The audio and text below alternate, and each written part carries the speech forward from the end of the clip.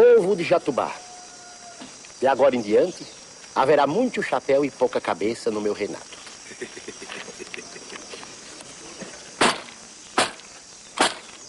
Chegou a hora da lei do cão e do reinado de Dom Sebastião. Jatubá agora não é mais qualquer cidade do sertão, não. Jatubá agora é sede do reinado e da corte. De forma que vós, missês, agora tem de se comportar como tá. Fidargos e plebeus.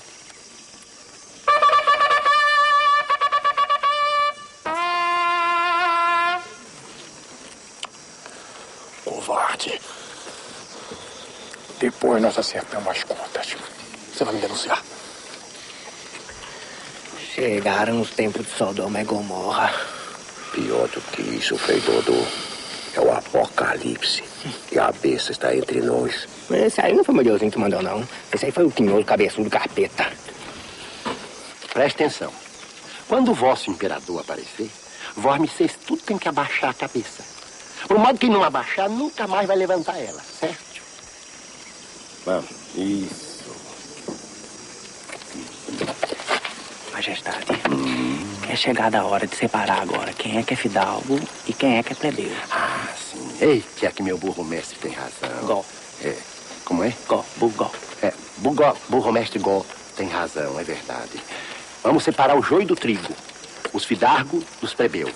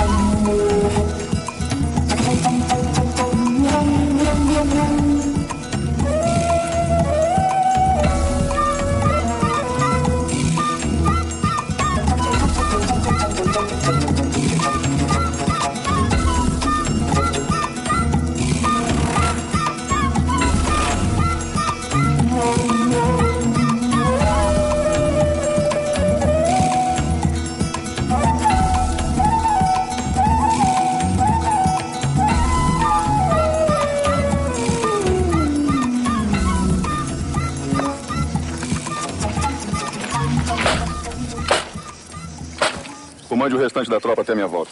Eu posso saber onde o capitão tá indo? Vou até Jatobá parlamentar com Zebedeu. Se o senhor permitir, capitão, eu gostaria de emitir uma, uma opinião de quem conhece muito a região e muitos cangaceiros. Fale logo, estamos de saída. Zebedeu não rege por uma lógica previsível, capitão. E a sua boa atitude pode ser ineficaz porque Zebedeu é Vou louco. sondar como andam as coisas em Jatobá. Impor certas condições a Zebedeu. Se ele não aceitar, vou começar a cidade até que se rendam com fome e com sede. Capitão, eu não sei se o senhor sabe, mas Zebedeu cercou muitos bois e água ele tem no riacho. Os bois se acabam e a fome chega. É, e ele pode matar os moradores para tentar liberar o senhor do cerco. Capitão Zebedeu tem muitos reféns. Se Zebedeu matar um homem sequer daquela cidade, aí será guerra total, tenente. E tenho certeza que tem um total apoio do interventor. Capitão, eu gostaria de pedir permissão para acompanhar o senhor. Permissão negada.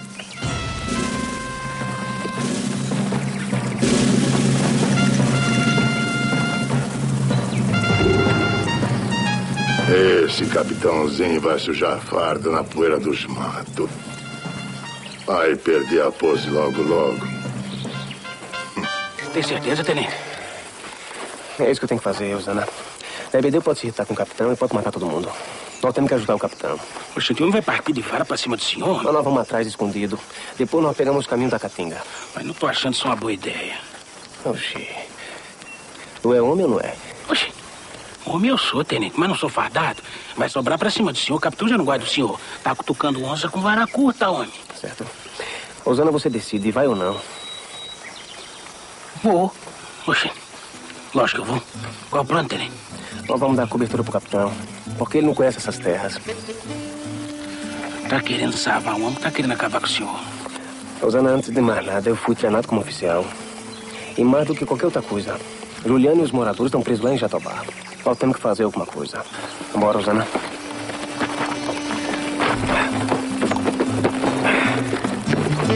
Olha, presta atenção. Vós e vocês agora são escravos. É gente que não vale nada.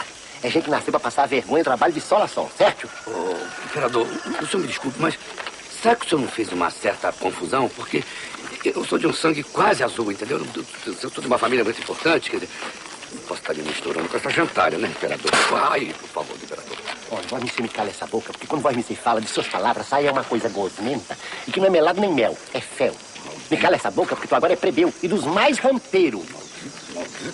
Cala a boca, cala a boca. Que o poeta dos cordel não tá de muito bom humor hoje, não. Tu tá vendo que ele não tá nem fazendo poesia.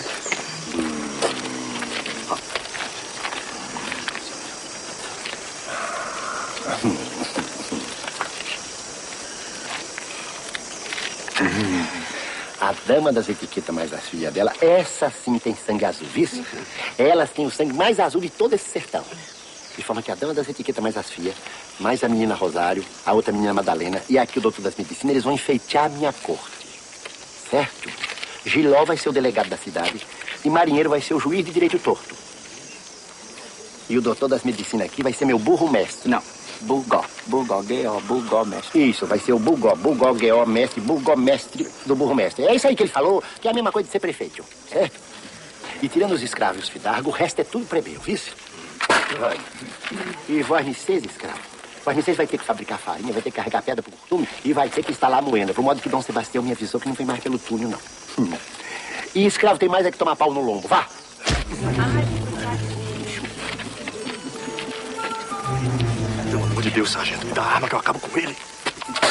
E agora vamos dar o viva pra Dom Sebastião, vamos viva? Viva Dom Sebastião!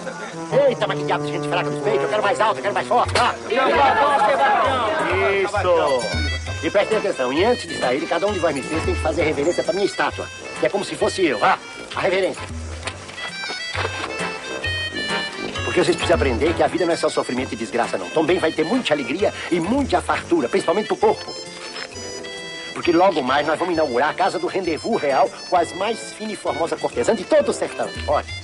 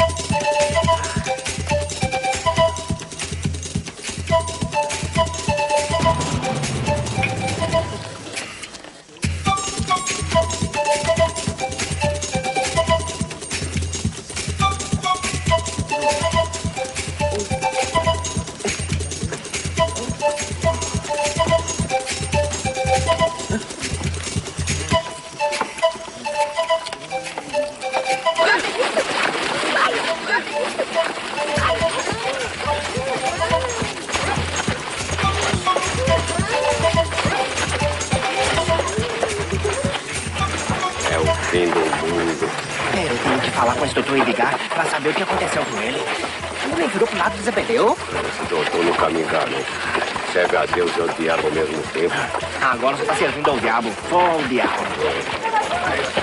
Ai, calma, por favor. Sem violência. Agora que o diabo mostrou o chifre e o rabo, tu tem que tomar cuidado, né? As duas são da cor. Não, minha mãe, Vai. deixa minha mãe, pelo amor de Deus. Minha mãe.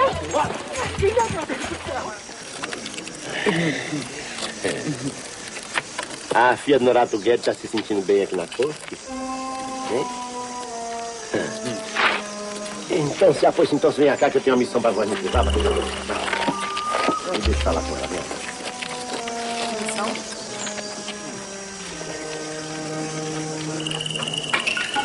Eita,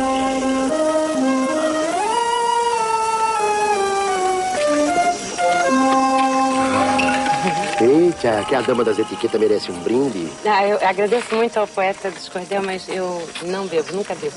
Agora me ser vai beber, vai. Vai beber, sim, vai beber, beleza. Tá.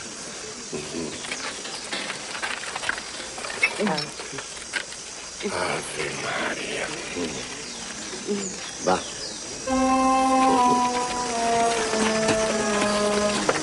Agora a dama das etiquetas regala bem os olhos, que eu vou lhe mostrar como funciona esse tal negócio de amor. Vai, vai lá.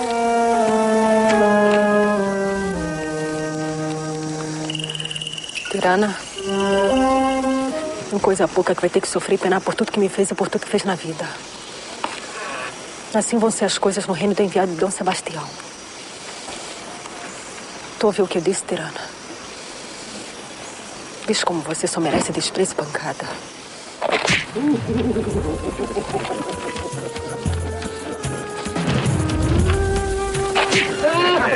A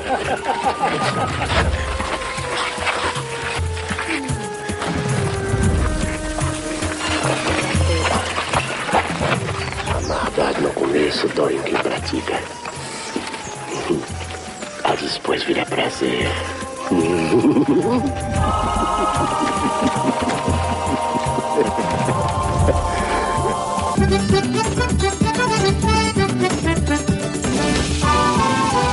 quieto, senão te corto os grumbil. Me cortando os quilos, pode cortar é tudo. Porque não, agora é Fidago da Corte São Sebastião e administrar todo o novo bordel, Didinha. Eu não sei se esse negócio de Fidago vai dar certo não, Teto. O que eu tô te vendo é afundado em pinga. Se afundar, Didinha joga uma boia cheia de garrafa cheia que ele não afunda. Cadê? Ai.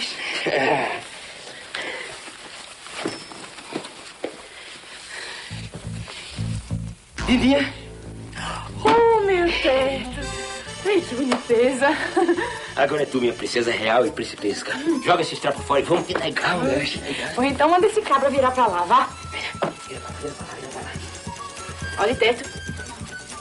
Tu não vai confundir as coisas não, hein? Ah, Didinha. Vamos, vamos mostrar essas formuturas todas. Hum. Bota esse aí. Oh, meu Tem mulher pra mais de um batalhão, Didinha. Ué, Teto. Tá querendo me oferecer pros outros, é? Não, eu tô dizendo que tu tem o valor da mulher de um batalhão pra mais de 100. Tô bonita, não tô? Tá Olha. linda. Ih, Didinha. Tá começando a me dar umas vantagens. Ah, é? Ô, seu bode velho. Sai fora que Didinha quer se desistir. Ô, Teto. Mas agora é essa hora, é? A essa hora, Oh, minha Didinha primeira. Ai, Teto. Toda hora é hora de, de tu chorar. Foi isso, não é não?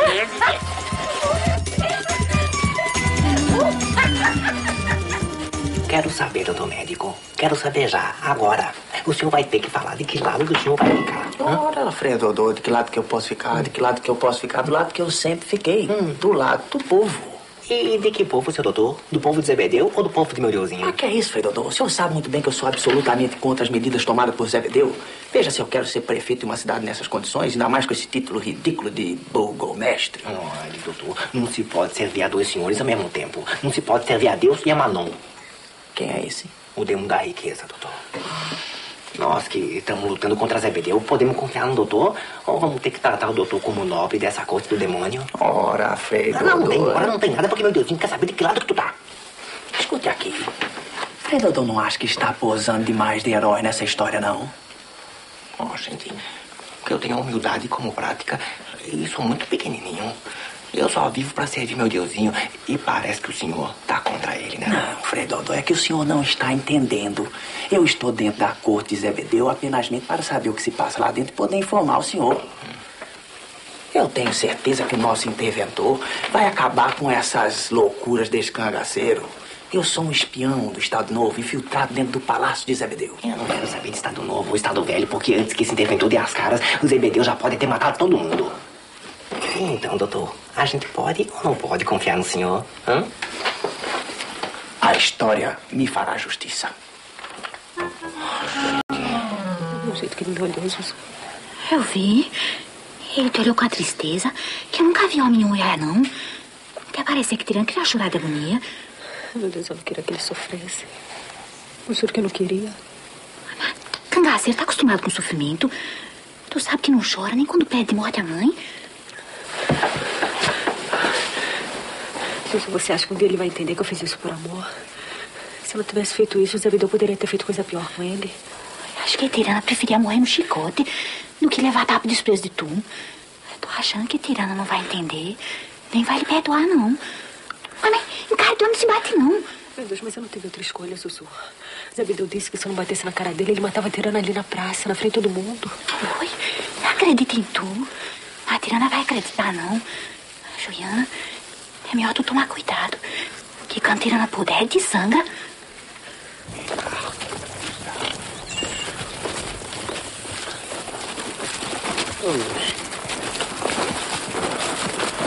Você, mulher, o que tá fazendo aí escondido nesse mato?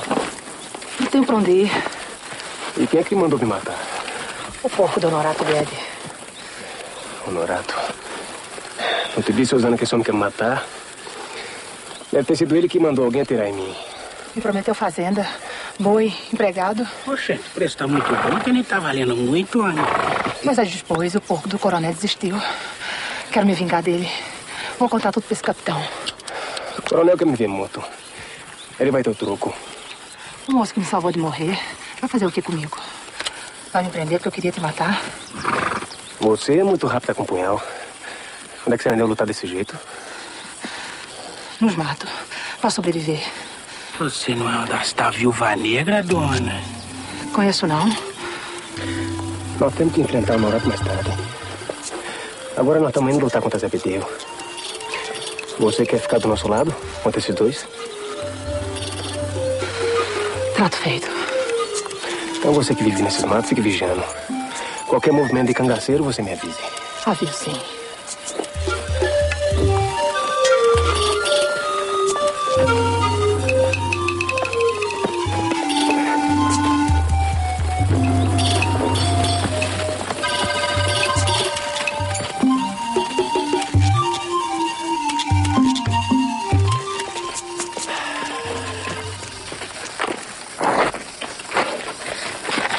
Aqui na rua não, Rosário. Eu sou bom comércio. Oxe. É um pouco melhor. Tá indo ver as quengas, é? Não, eu tenho uma reunião de cúpula com o Zé Bedeu e estou atrasado. Mas eu já te disse para não fazer isso. Está ficando surda, Rosário. Ah, que coisa. Mas, mas que coisa? O que, que foi? O que é que foi? Pois diga. O que, que é? Eu tenho uma coisa pra te contar. Então diga. O seu revólver tá com o sargento. O quê? E por quê? Sei lá. Isso é muito perigoso. Isso é perigoso para nós dois. Pra mim, eu nem te ligo. A arma não é minha. Me solta, doutor, que pode ter gente olhando. Você não tava morrendo de pressa? Depois a gente acerta isso. É, rapadura doce, mas não é mole não, né? É, Tu vai mesmo pro bando de corisco? é nossa salvação. Aí, com o Corisco, Zé Bedeu põe o rabo entre as pernas e nós liberta a tirana. Ah, pois sim. Antes chegou a hora, bauneta. Também vou com tu. Quero entrar pro cangaço. Hoje se vai, então você pra já, porque eu mesmo tô indo. Ah, pois sim. Tá indo embora, seu menino.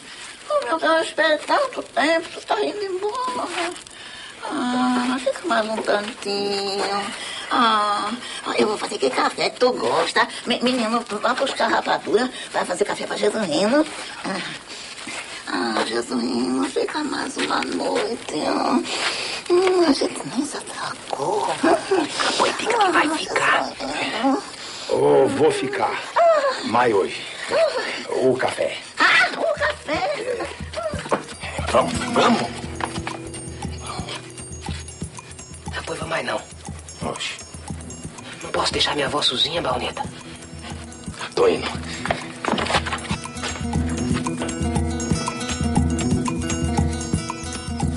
Pois diga a corisco pra matar muito macaco. Pra deixar esbranquiçando na caatinga. E diga que um dia... Um dia eu entro pro bando dele.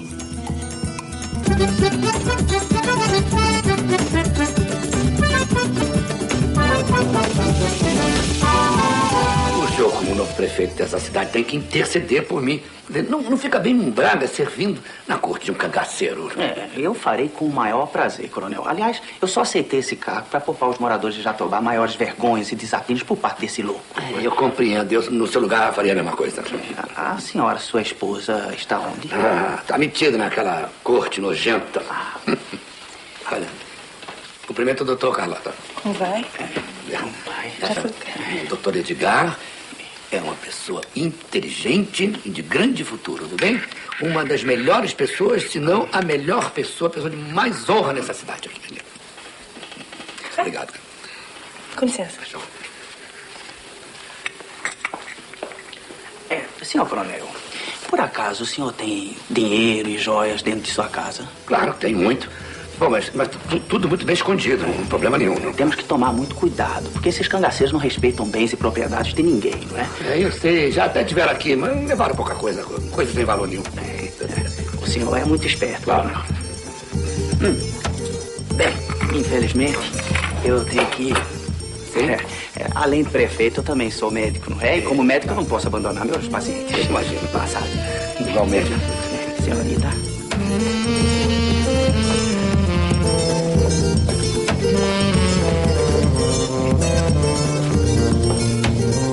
Reparou na minha cara? Como assim? Eu, eu não sei, mas parece que nós já se viu antes. Nós duas? Deixa eu pensar. Já vi que a gente se viu, sabe onde? A gente se viu nessas matas aí de Jatobá, que lá tem muita assombração. A, a dama das etiquetas tá me ofendendo, é? Não, Baia, não. Não, Baia, não. De jeito nenhum. Ofendendo, não. Tô- eu não, não seria capaz de ofender uma pessoa tão famosa e prestigiosa que pertence aqui ao reino do Beuzebu.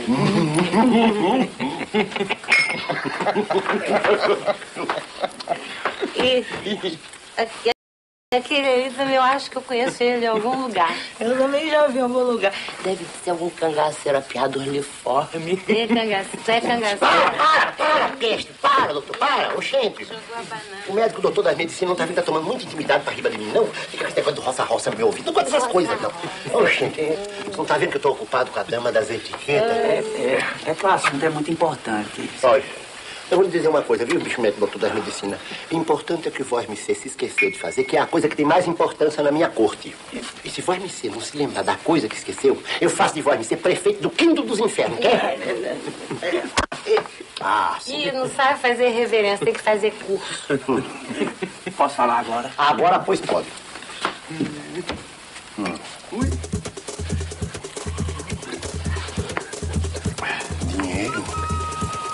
ouro e joias. Irmã da marinheira ir lá e me trazer tudo que ele puder trazer, vá. vá.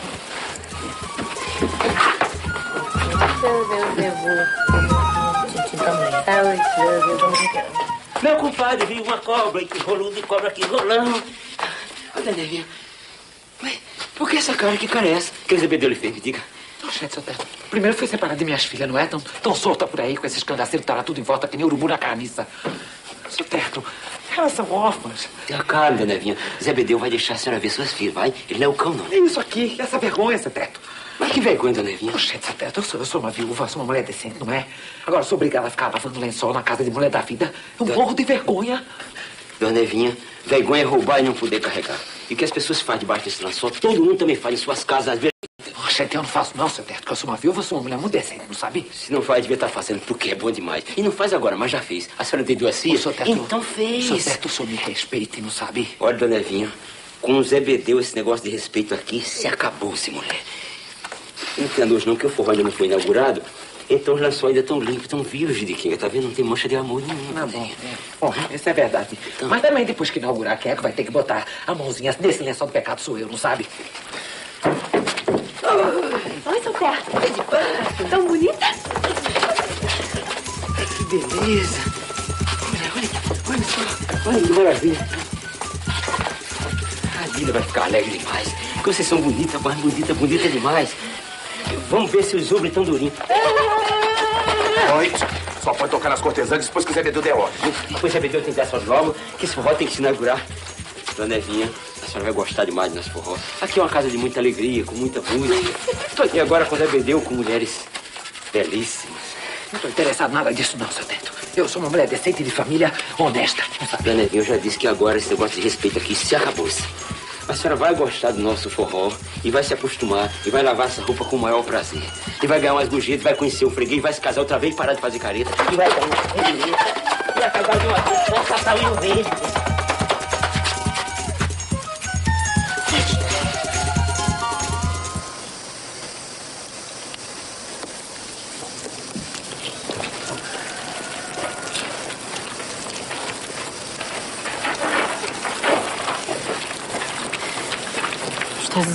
Você me ajudar. Quer saber de o que eu vá pra corte dele, mas eu tô com medo. Ah, pois não fico preocupada não, Leopoldinha. Se ele te fizer mal, mato ele, nem que depois eu morra. Que mata, não vai matar ninguém, para. Eu quero que você corra perigo por minha causa. Ah, gente, e como vou poder lhe ajudar? Não sei, mas você tem que pensar em alguma coisa. Porque a minha mãe vive com um poeta cangaceiro e meu pai só faz chorar. Eita, que teu pai nessa talha corte virou gente feito eu, né? É, deve ter sido castigo, porque ele é tão arrogante. Ah, pois sim. O vento que venta lá, venta aqui também. Agora nós vamos poder tratar de igual pra igual.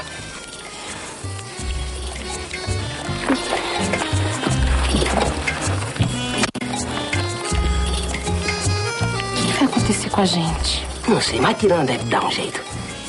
Ah, pois não fique preocupada não, Leopoldinha. Vou entrar nessa tarde corte, vou me infiltrar lá dentro pra poder lhe ajudar de pertinho. Ai, faz isso. Porque meu pai é um fraco, né? Só conto com você. Você jura que me protege?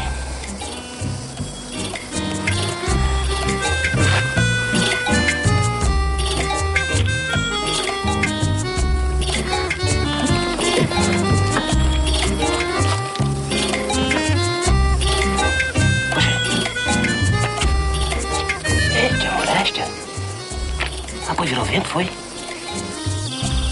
Olha lá o fujão. Vamos ver quem acerta a cabeça dele primeiro, parafuso. Não, bicho. É melhor não matar o homem sem ordem de Zebedeus. Então vamos dar um susto nele. Vamos. Vamos. Senta.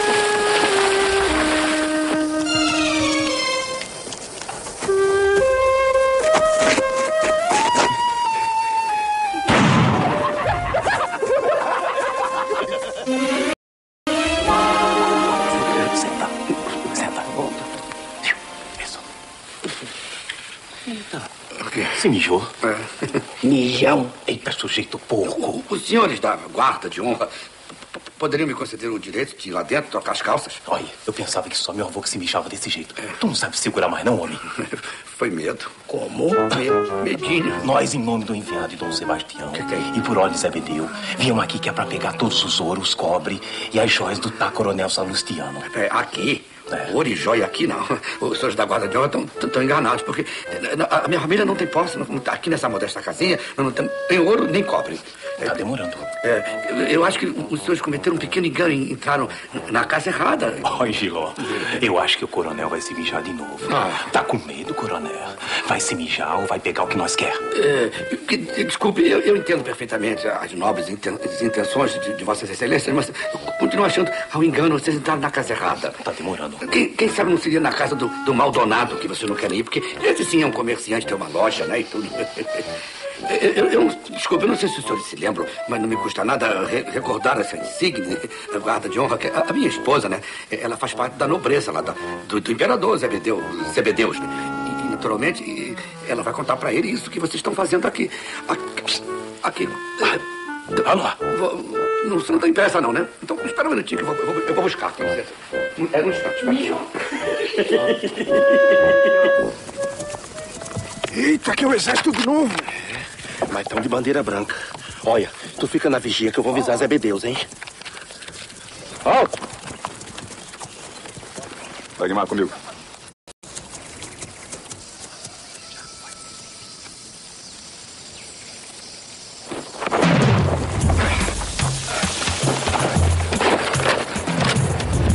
Capitão tá te devendo uma, tenente.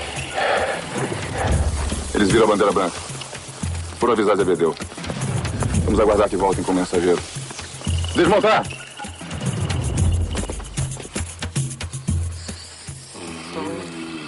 E lá vem ele. Aqui, não põe a mão não, peraí, Josebu, deixa eu falar com você. Aqui, ó, tomei tontinha, passa embora. A dama das etiquetas tem permissão pra ir e vir na hora que quiser, quando quiser. Muito agradecida, você é muito gentil. Sem não, Belzebu, não. Ó, ó, mãe. Ó, doutor. Até logo, doutor. E o cangaceiro, o cangaceiro, Tibulão, vamos lá.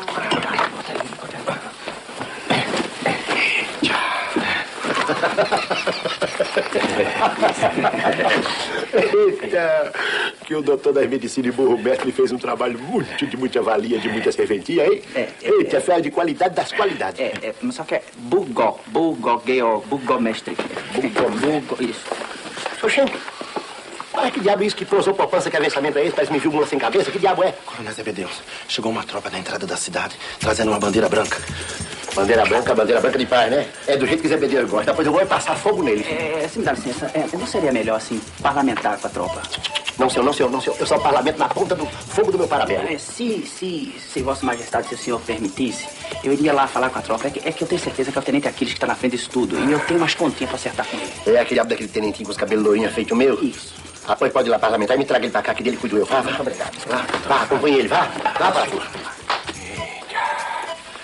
Que Dom Sebastião vai trazer muito sangue e muita desgraça pra quem não tiver do lado dele. Ah, vá.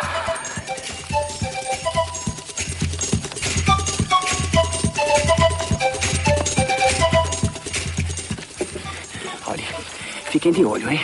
Qualquer movimento, atirem pra matar. Capitão!